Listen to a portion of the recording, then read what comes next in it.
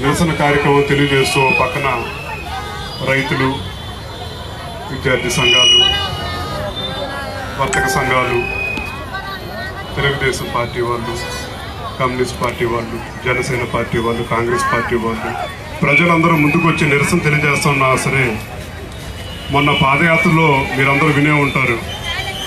నేను విన్నాను నేను ఉన్నాను అని చెప్పని జగన్ రెడ్డి గారు చెప్పారు.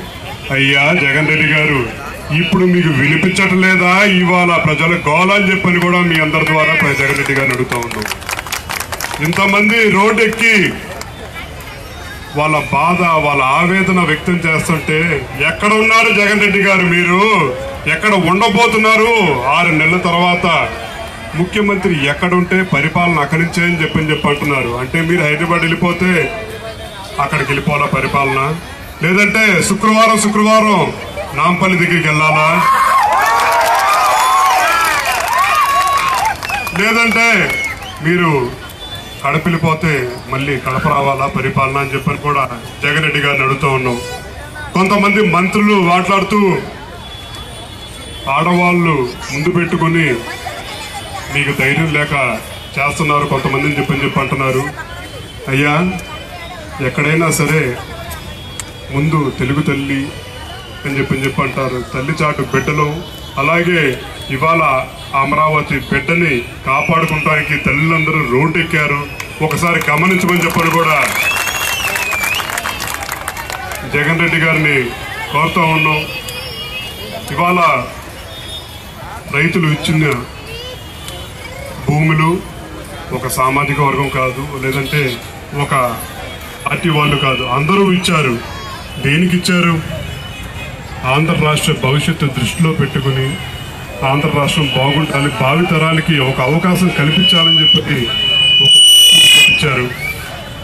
అలాంటి రైతుల్ని ఎలా చేస్తూ చరిత్రలో ఎక్కడా లేదు. రైతంతా రైతు కన్నీరు కారిస్తే బాగుపడినట్టు ఇక్కడ చరిత్రలో లేనే లేదు. దీనికి పాలకులు మూల్యం ఎట్టి పరిస్థితుల్లో చెల్లించాల్సిన అవసరం కూడా ఉంటుంది మీరు అవాకులు చవాకులు పెయిడ్ ఆర్టిస్టులు మీరు ఎన్ని మాట్లాడినా సరే మా నిరసన తెలియజేస్తాం. మా అమరావతి సాధించే వరకు మీ అందరం కలిసికట్టుగా పోరాడతాం. మిమ్మల్ని చూసి భయపడిపోయి పారిపోయే వాళ్ళు ఇక్కడ ఎవడూ లేడు. ఎవరిని బెదిరించుకుంటారో వాళ్ళని బెదిరించుకోండి.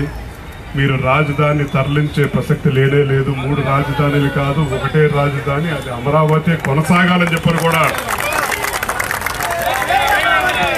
బినామీలు అని చెప్పి అంటున్నారు బినామీ అని చెప్పంటే ఇక్కడ ఉన్న వాళ్ళందరూ మిమ్మల్ని అందరినీ అడుగుతున్నాం మీరందరూ ఎవరైనా బినామీలు అని చెప్పి అడుగుతున్నాను. లేదని చెప్పంటే అధికార పక్షం ఎవరైతే బినామీలు అంటా ఉన్నారో దయచేసి ఒకసారి ఇక్కడికి వస్తే ప్రజల్లోకి వస్తే ప్రజలే సరైన బుద్ధి కూడా చెప్తారు మీ ప్రతి ఒక్కడు కూడా అని చెప్పని చెప్పంటాను ఇవాళ రోడ్డెక్కి ఇంతమంది ఆవేదన వ్యక్తం చేస్తుంటే కనీసం చీమ కుట్టినట్టు కూడా లేకుండా తున్నపోత మీద వర్షం కురిసినట్టుగా ఇవాళ ఉన్నారు మంత్రులు కానీ శాసనసభ్యులు కానీ కనీసం ప్రజలు ఇంతమంది రోడ్డుకి యాభై రోజుల పైన నిరసన తెలియజేస్తూ ఉంటే వాళ్ళ బాధ ఏంటి వాళ్ళ ఆవేదన ఏంటి కనుక్కుందాం అని చెప్పిన ఆలోచన కూడా లేకుండా ఉంది వాళ్ళకి. ఒకసారి ప్రజల్లోకి రండి ప్రజల్లోకి వచ్చి వాళ్ళ ఆవేదన వాళ్ళ బాధ ఏంటో ఇంతకుముందు పాదయాత్ర చేశారుగా. ఏ ఇప్పుడు రావటానికి ప్రజలు రావటానికి ఏమైంది మీకు జగన్ రెడ్డి గారు అని చెప్పి మీ అందరి ద్వారా జగన్ రెడ్డి గారు అడుగుతాను అలాగే ప్రతి సమస్య కూడా నేను వింటున్నాను నేను నేను ఉన్నాను అని చెప్పి చెప్పున్నారు. ఇవాళ ఆంధ్ర రాష్ట్ర సమస్య కింద మారిందే. ఈ సమస్య మీకు పట్టదా జగన్ రెడ్డి గారు అని చెప్పని కూడా మీ అందరి ద్వారా అడుగుతూ ఉన్నాం.